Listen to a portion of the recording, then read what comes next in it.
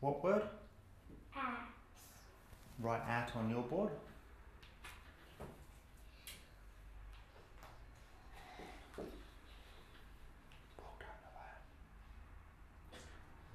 Good. I like the way you put some space between the letters there, both of you. Watch as I make at into sat. What word?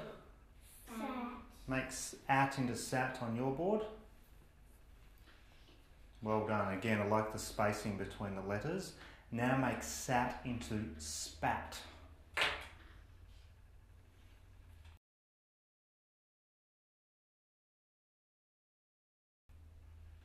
Make spat into pat. Use your tissue and rub out the letter you need to. Well done, Nevaeh. Very efficient. Excellent, Jack. Good listening. Now make pat into at.